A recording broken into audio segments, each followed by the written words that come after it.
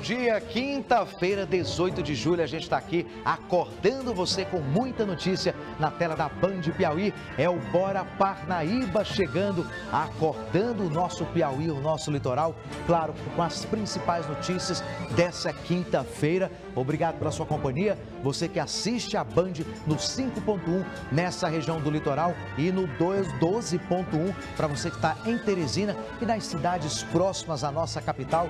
Sejam todos muito bem-vindos. É o Bora Parnaíba dessa quinta-feira na tela da Band trazendo as notícias quentinhas do dia de hoje.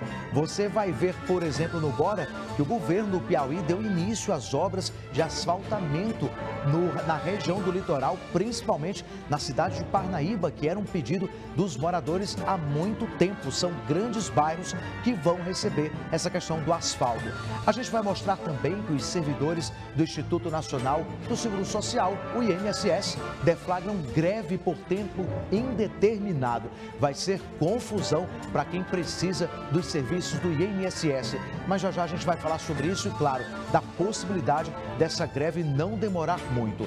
Nós vamos mostrar também que mais de 5 mil pessoas são monitoradas pela Secretaria de Justiça por meio de tornozeleiras eletrônicas aqui no estado do Piauí. O que, que isso muda, hein, em relação a essa fiscalização e esse olho né, vivo em quem usa a tornozeleira eletrônica? Será que isso ajuda realmente a combater a violência e a criminalidade? Já já a gente mostra para você. E olha, o governo federal oficializou também no Diário Oficial da União a previsão da construção de mais de 780 casas do programa Minha Casa Minha Vida aqui no Piauí. É uma boa notícia para quem precisa de uma moradia e está dentro desse enquadramento né, que o programa pede. Então, se você tem interesse nesse assunto, não perde, porque é muita casa que vai ser construída no Piauí. Essa é a promessa e olha que isso é para ser logo de acordo com o governo federal. Eu vou trazer os detalhes também de amanhã, porque hoje vai iniciar o Festival Porto Vivo em Parnaíba. Esse evento que celebra o aniversário de três anos do Museu do Mar que vai reunir música, cultura, moda, gastronomia e muito mais. A gente vai falar sobre isso também. E olha só, gente, uma armadilha, viu, para os leituristas. São aqueles profissionais que vão lá tirar, né, observar a água ali na questão do hidrômetro. Você vai ver um exemplo que aconteceu, olha só, isso aí que aconteceu aqui no Piauí. O dono da casa, que estava com a água atrasada, com o talão atrasado, fez isso aí, essa armadilha. Ele cavou um buraco do outro lado do muro para o cachorro conseguir colocar a cabeça. E aí, quando o leiturista vai lá, olha só, por pouco não acontece um grave acidente. Claro que a gente vai falar sobre isso e muito mais no Bora Parnaíba dessa quinta-feira, que está só começando. Não sai daí, é só o tempo da gente se preparar, preparar o café na xícara e a gente volta com todas essas notícias e muito mais. O Bora Parnaíba está no ar.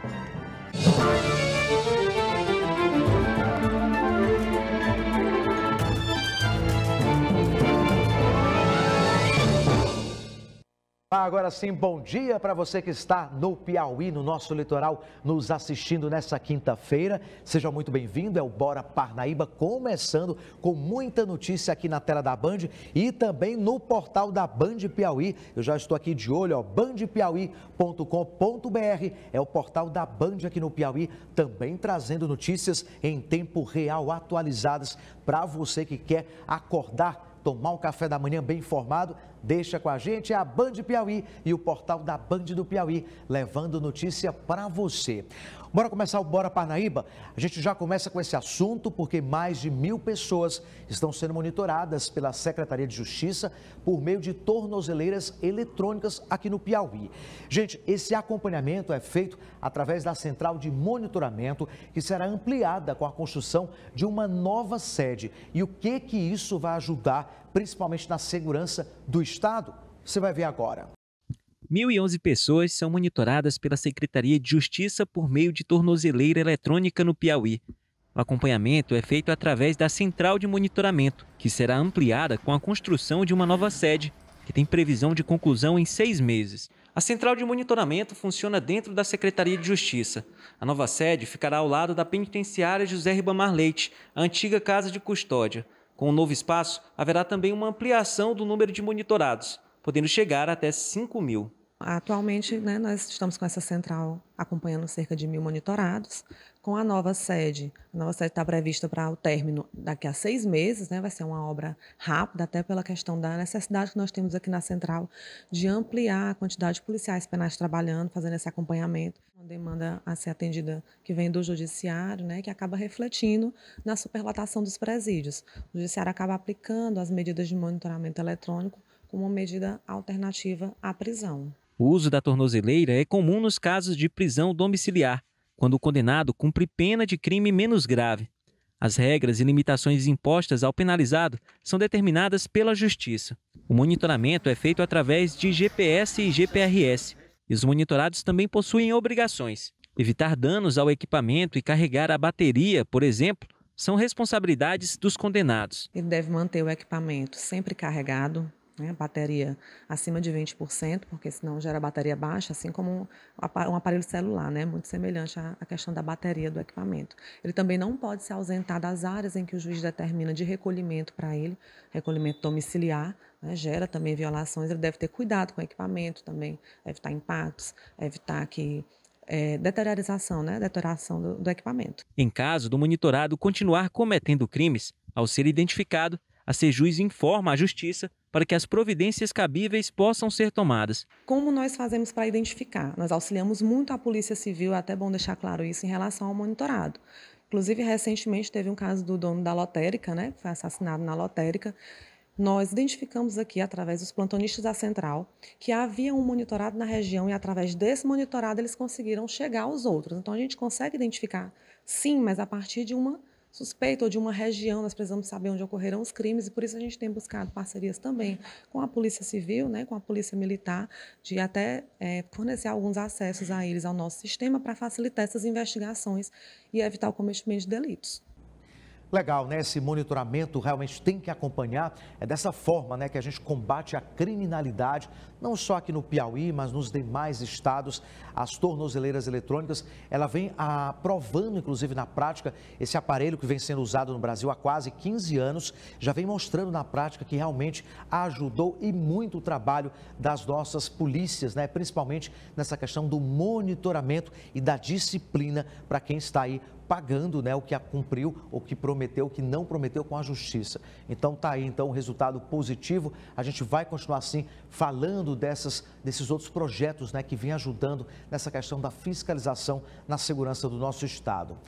Agora, olha, gente, tem uma boa notícia não é nem uma boa notícia, na verdade, é uma péssima notícia. Os servidores do Instituto Nacional do Seguro Social, o INSS, mais uma vez, deflagraram greve por tempo indeterminado.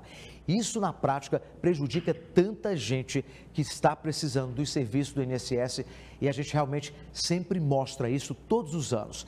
Agora, por outro lado, entre as reivindicações que estão corretas também, claro que os profissionais do INSS precisam reivindicar melhorias. Né? A categoria reclama principalmente de perdas salariais, da valorização profissional, da falta da valorização e pedem também melhores condições de trabalho.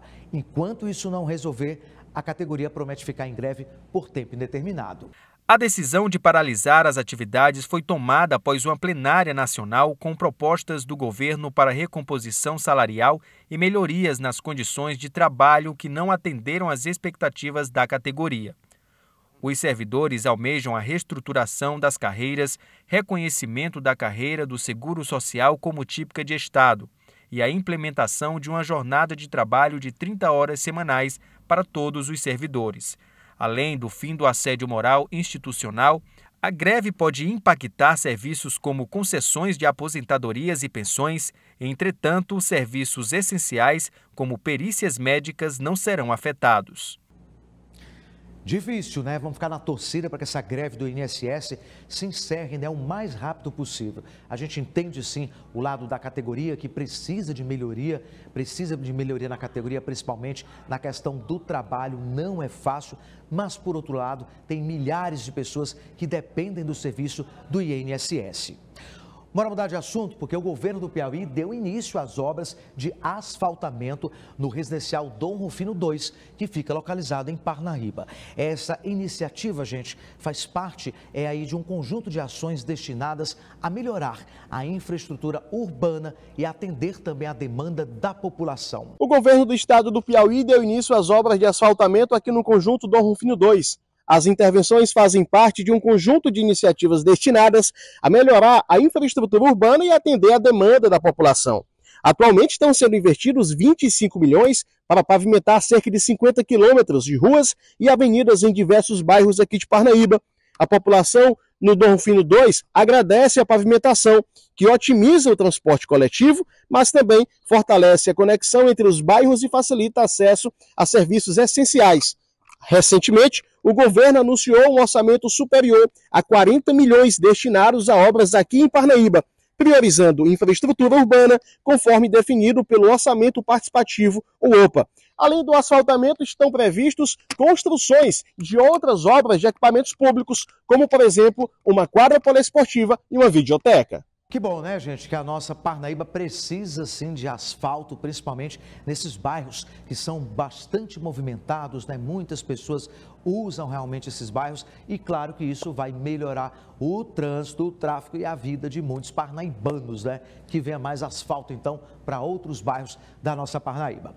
Bora tomar um café, tomar uma água? Não sai daí, eu vou fazer um intervalo comercial. E na volta tem boa notícia, viu? Minha Casa Minha Vida. O governo federal anunciou mais de 780 casas aqui no estado do Piauí. É a construção aí de quase 800 casas no estado do Piauí. Se você tem interesse nesse assunto, não perde o próximo bloco, porque a gente vai mostrar também o Festival Porto Vivo, esse evento que está celebrando três anos do Museu do Mar em Parnaíba. Tem novidades no evento, viu, que promete atrair muita gente. Claro que a gente não vai deixar você na mão. Já já tem todos os detalhes. É o Bora Parnaíba começando amanhã dessa quinta-feira com você de casa, ligado na Band. Eu volto em instantes. É só o tempo de pegar um café, uma água e na volta a gente se encontra aqui na tela da Band. Não sai daí.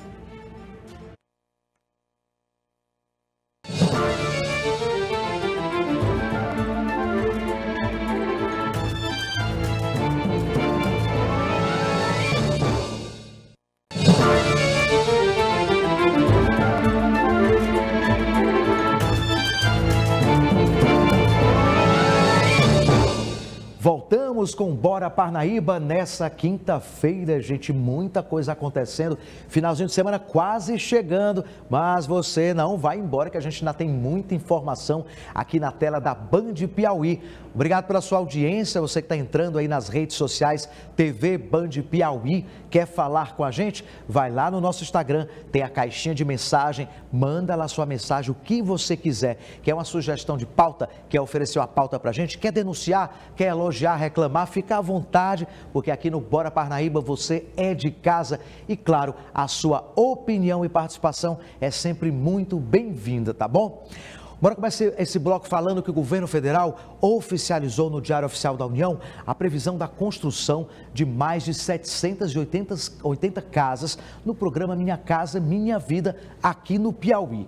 E olha só, gente, a boa notícia é que a expectativa é atender municípios com até 50 mil habitantes. O governo federal anunciou a construção de 786 novas unidades habitacionais aqui no Piauí por meio do Ministério das Cidades. Em todo o estado, 219 cidades poderão concorrer para receber as novas unidades habitacionais. As diretrizes estabelecem que os municípios com até 25 mil habitantes podem apresentar até duas propostas, com no máximo 25 unidades habitacionais cada. Já os municípios com população entre 25 mil e 50 mil habitantes podem propor até duas iniciativas, com até 50 unidades habitacionais por proposta. Além das 786 novas casas anunciadas, recentemente foram autorizadas outras 1.351 unidades habitacionais no Piauí, totalizando um investimento de 130 milhões.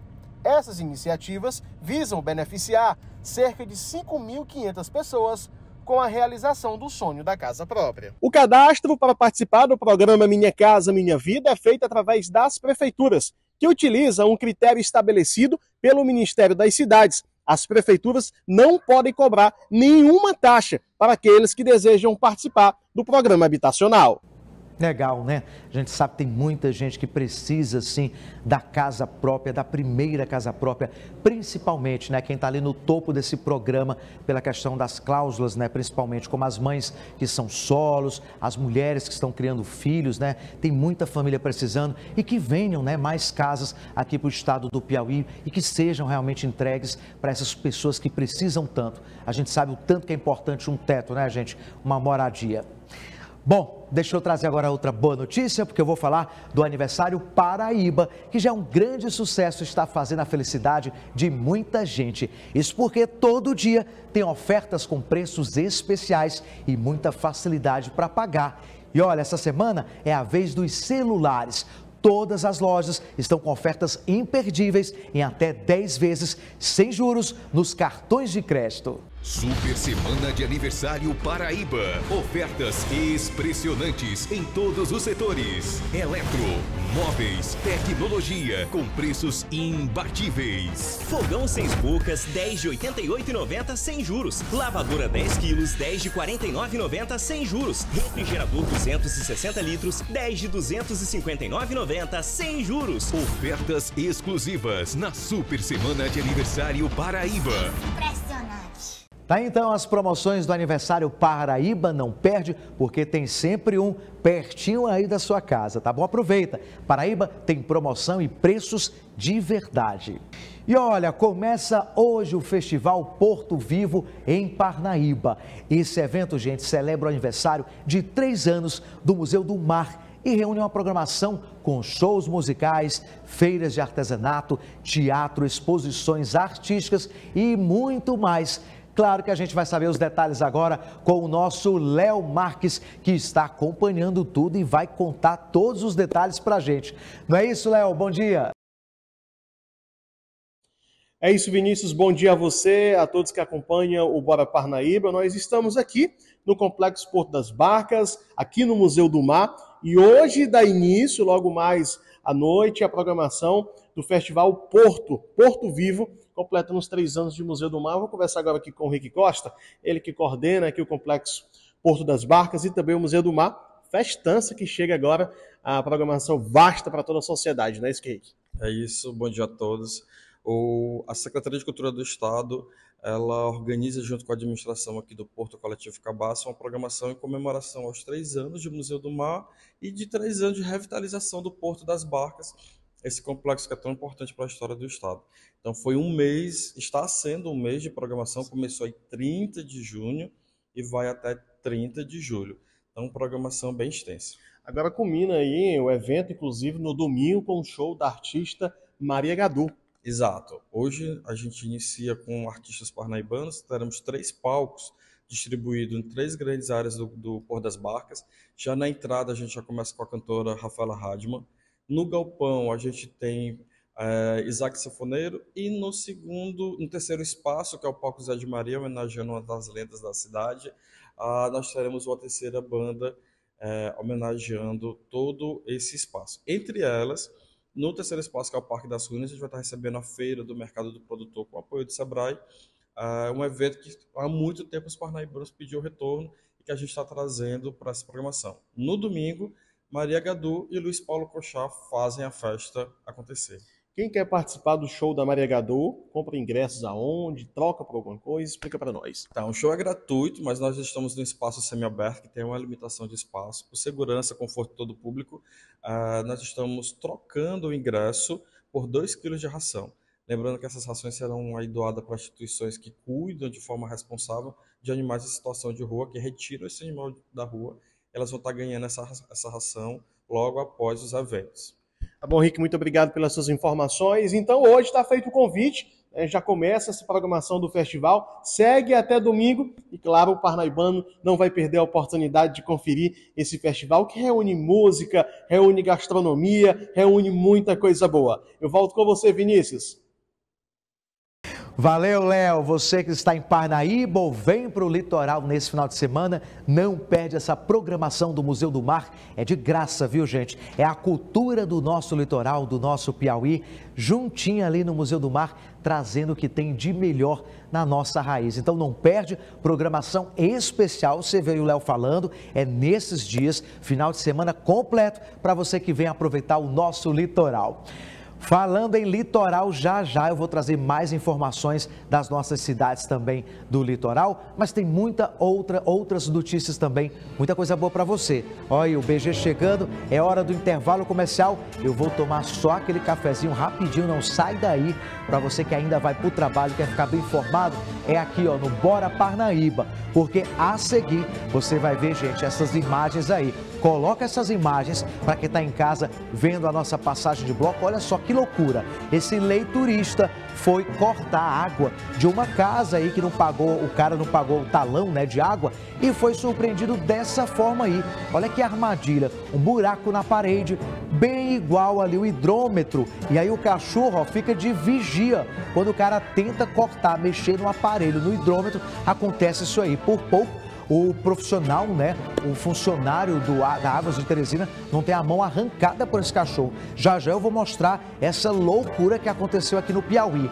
Mas claro, a gente vai falar também de esporte, porque no futebol piauiense tem um atleta parnaibano que vai fazer parte da base do Fluminense Carioca e claro, vem se destacando como um dos fenômenos aqui do esporte local, não só do Piauí, mas do Nordeste. Claro que a gente vai revelar quem é essa fera do esporte que deve ainda fazer muito sucesso no nosso país. Não sai daí rapidinho, é só o tempo da gente tomar uma água e um café. Eu volto em instantes com Bora Parnaíba dessa quinta-feira.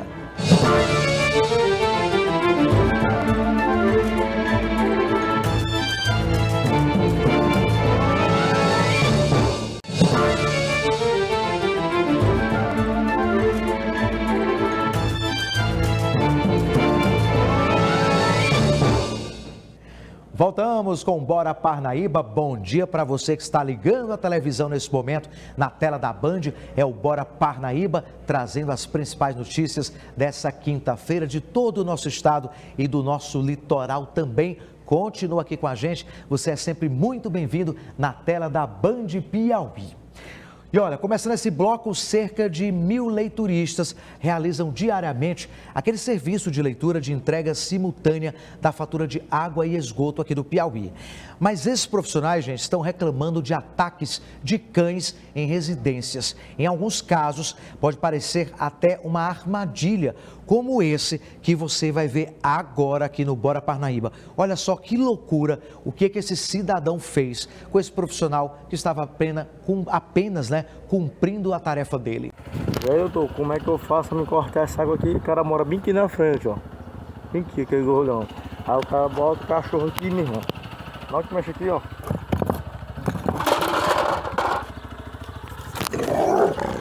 O vídeo registrado pelo funcionário da empresa Águas de Teresina mostra o difícil dia desses profissionais na capital. Segundo o funcionário, um buraco teria sido aberto do outro lado do muro para facilitar a entrada da cabeça do cachorro. Foi a maneira que o dono da casa encontrou para impedir o corte do serviço. Se o homem não estivesse atento, um grave acidente poderia ter acontecido.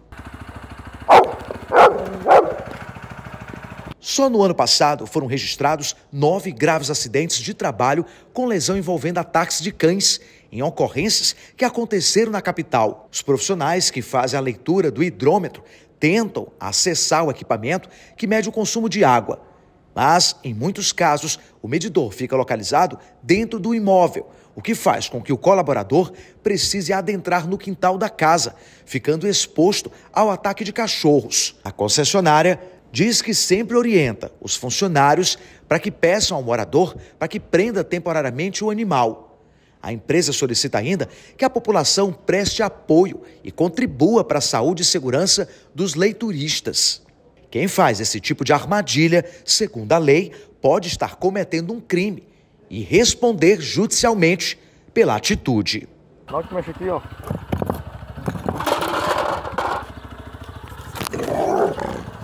Aê. Bom, bora mudar de assunto, porque agora a gente vai falar, sabe de quê? De esporte, porque um jovem atleta parnaibano está se destacando no futebol piauiense. E o melhor, viu? Esse cara tem chances de integrar a categoria de base do Fluminense Carioca. Olha só que boa notícia para o nosso esporte. O time de base do Fluminense Futebol Clube do Rio de Janeiro vai receber nos próximos dias um parnaibano. Trata-se do jovem Aquiles, que joga na posição de goleiro. O atleta irá compor a base do time carioca. Aquiles foi selecionado pela sua ótima atuação na defesa. O jovem atleta já passou por alguns clubes de futebol amador aqui de Parnaíba, onde se destacou pelo empenho e dedicação. Tendo o futebol como seu projeto de vida, Aquiles já está com a passagem comprada com destino à cidade carioca. O atleta já tem histórico familiar no futebol piauiense, pois seu pai, o ex-jogador Pitanga, teve passagem pelo Parnaíba Esporte Clube e também pelo Paysandu, aqui do município de Parnaíba. Legal, né? Como o esporte muda a vida de tantos jovens, não só aqui no nosso Piauí, mas em todo o Brasil e no mundo, né? Sorte é então para o nosso já campeão. É dessa forma que eu considero esse cara e é dessa forma que a gente quer trazer a próxima notícia, quem sabe, né? O mais rápido possível aqui no Bora Parnaíba. Esse campeão de Parnaíba, esse grande, grande atleta que a gente está na torcida junto por ele. Bom, gente, por essa, ah, por essa, com essa, né? A gente vai encerrando o Bora Parnaíba de hoje.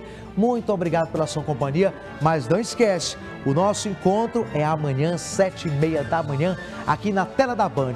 Eu vou estar aqui com vocês juntinho a semana inteira no Bora Parnaíba. E 18h50 eu estou no Band Cidade, antes do Jornal da Band, trazendo, claro, as notícias que estão repercutindo na tarde e na noite de hoje. Então a gente tem dois encontros. Bora Parnaíba, sete e meia da manhã e 18h50 no Band Cidade. Claro que tudo isso é aqui, ó, na tela da Band. Obrigado pela sua companhia. Uma boa quinta-feira para você. O dia está só começando. Saúde, paz e boas notícias aí para você de casa. Tchau, tchau. Amanhã a gente se encontra. Tchau, tchau.